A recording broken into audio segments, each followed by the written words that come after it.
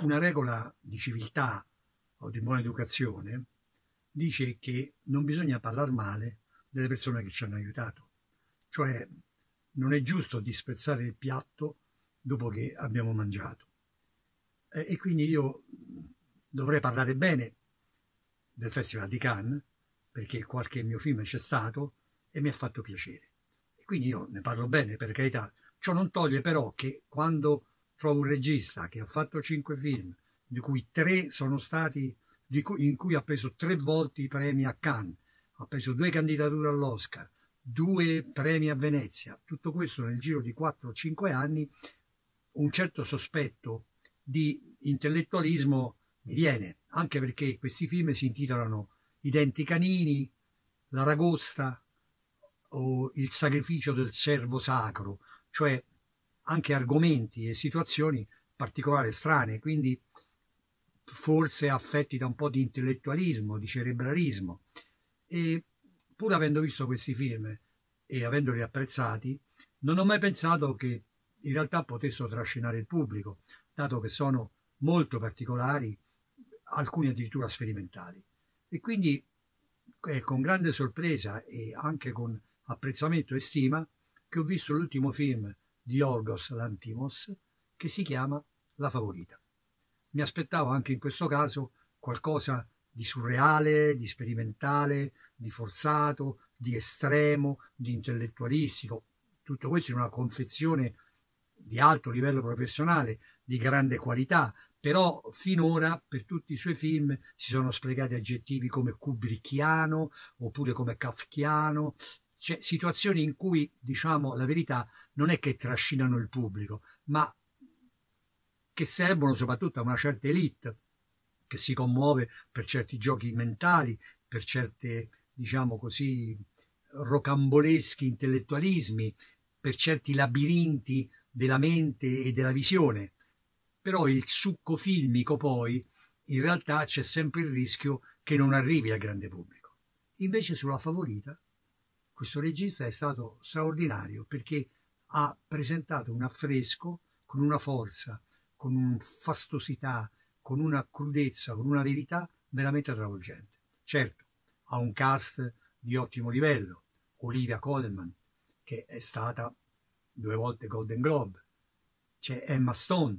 che eh, chiaramente ha preso l'Oscar, due Oscar, una come attrice non protagonista e un'attrice come protagonista per La Land, che tutti il grande pubblico ricorderà anche in Spider-Man. C'è Rachel Weisz, bellissima e straordinaria attrice inglese, anche lei ha un Oscar come non protagonista. Quindi un cast di donne di tutto rispetto, ma questo immerso in un'atmosfera storica, 1700 circa, di grande fasto, di grande bellezza, ma soprattutto di grande verità. È molto differente dalla Maria Antonietta della, di Sofia Coppola, per esempio, dove la situazione è edulcorata, diciamo sotto certi aspetti quasi, quasi hollywoodiana, ovattata sotto certe forme. Eh, qui invece siamo più vicini a, a Frears, al, al, al famoso eh, film tratto dall'opera di Laclos, il quale gioca esattamente sulle perfidie e sugli interessi, sugli egoismi e sulle ambizioni di una corte. È la corte di Anna, regina d'Inghilterra, l'ultima regina degli Stuart, eh, che regnò appunto credo dal 1700 dal 1700 fino al 1714, che riunì le due corone d'Inghilterra e di Scozia in una sola corona e che riesce a tenere in piedi l'Inghilterra, nonostante che sia divisa dai primi esperimenti di bipolarismo, no? i Whig e i Tory, i due partiti liberali e conservatori, liberali per dire, in ogni modo per l'epoca erano liberali, tramite le, proprio gli intrighi e le trame, potrei dire, proprio di Sarah Churchill. Sarah Churchill, che non a caso è l'antenata di Sir Winston Churchill, e la bravura e l'abilità di Sir Winston Churchill si possono capire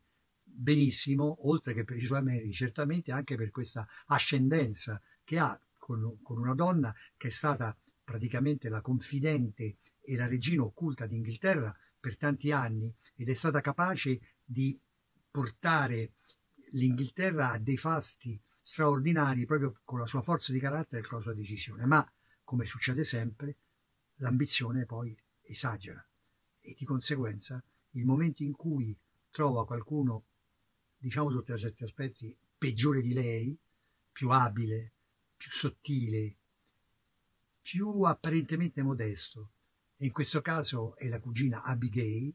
la quale è praticamente una cugina, cioè non è una cugina povera, che addirittura comincia quasi come domestica, ma riesce prima tramite Sara e poi tramite la sua abilità a incunearsi fra lei e la regina e diventare lei la favorita della regina. Ecco, questa lotta tra le due donne, con due estrazioni diverse, con due mentalità diverse, con una terza donna al centro che è la regina Anna, la quale si divide fra le due ed è, diciamo così, rapita sia dai modi duri, decisi, spietati di Sara, sia dai modi, diciamo, vellutati, sottili di Abigail. In ambedue i casi sono tre donne che lottano per il potere. In un mondo, badate bene, che un mondo che era assolutamente maschilista e dove il potere era concentrato nelle mani degli uomini in maniera totale e assoluta. E invece queste tre donne, con la determinazione e l'intelligenza che le donne hanno sempre avuto, nel momento in cui vogliono qualcosa, nel momento in cui si tolgono di dosso gli schemi di una società che cerca di soffocarli, ma riescono a liberarsi, dimostrano la loro capacità, sia in negativo che in positivo. Dimostrano sicuramente la forza, il coraggio, la decisione, la determinazione, la lungimiranza, l'intuito,